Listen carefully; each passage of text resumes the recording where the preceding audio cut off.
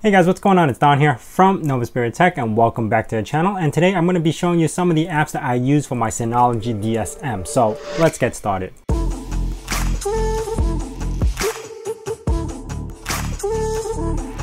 So I do want to thank Synology for sending me over the 1019 Plus and I've been playing around with it for the past couple of months. So if you want to see that initial review, I will have a link right over here. But today we are actually going to be taking a look at the DSM or the Disk Station Manager. Now keep in mind that not only can this double as a NAS, this can not only can this be a not only is this a NAS, it could actually double as a server.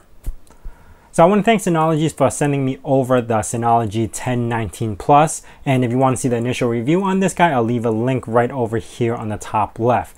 Now, keep in mind that not only is this a NAS, you can actually double this up as a server. So the DSM, which is also the Disk Station Manager, will allow you to install other applications into it to allow you to serve uh, mail or virtual machines and stuff like that. So I'm going to be showing you guys a list of applications I have installed in my DSM.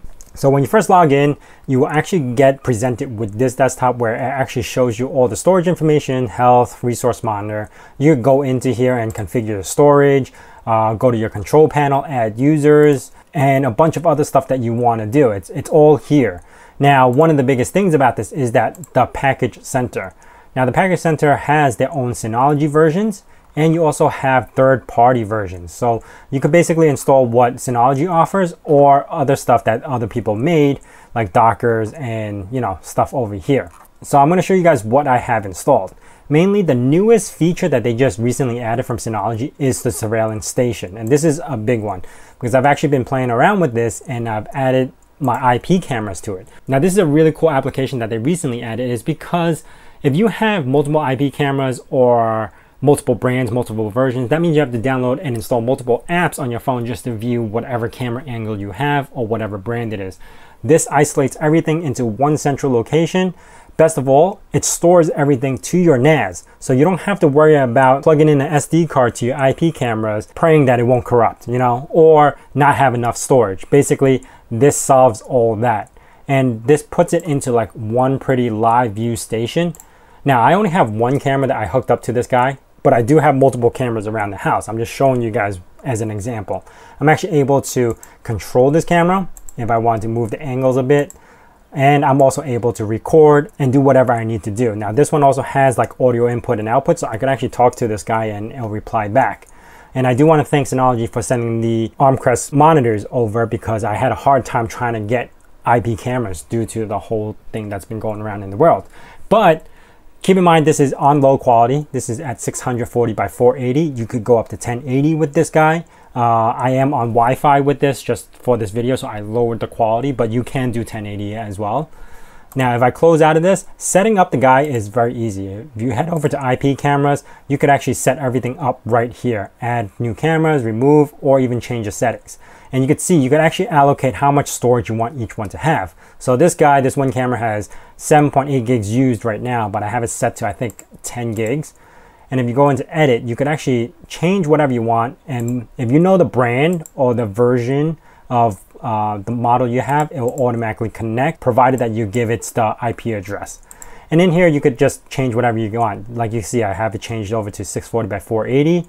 And you could change the audio format, video format, etc etc record settings you could also change this over to whatever you want schedules stream events how many times you wanted to uh, rotate the videos every 60 minutes uh, how many gigs you want to give it like all this set you could set it through here and then if you do have multiple cameras, like I said earlier, it will have like one central station where all the monitors would be viewed over here and you could just click to, you know, enlarge each one.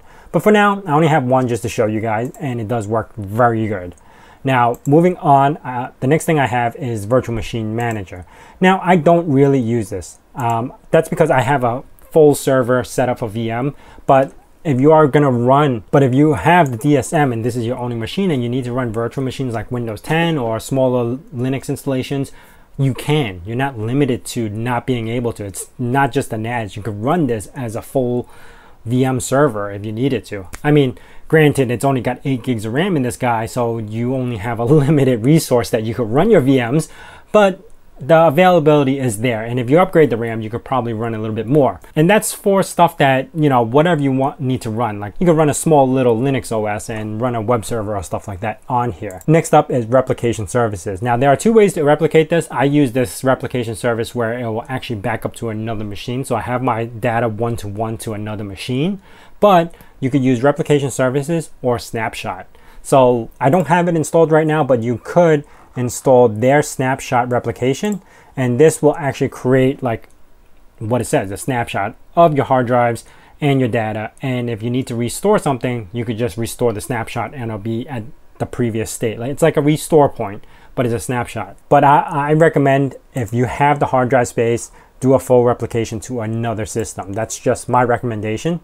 But yeah, Snapshot works just as well if you say caught a virus, it modified some files and you need to restore it. Now, next up we have Docker. Docker is basically similar to your virtual machine manager where it allows you to run uh, enclosed, everything contained into a little server and it could run say web servers or stuff like that and i have a, a, bunch of docker stuff installed instead of having to run a full virtual machine with the overhead of a virtual machine yeah i would run docker Next up, we have Plex Media Server, and I don't know if I really need to explain this, but the Plex Media Server allows you to run your media onto your network and everything else. Now, you do need a premium account to run the transcoding, but the transcoding is awesome on this guy. On this NAS, I was actually able to get up to eight and nine streams, 1080, simultaneously using their transcoder. So having a Plex Media Server on this little NAS guy, wonderful.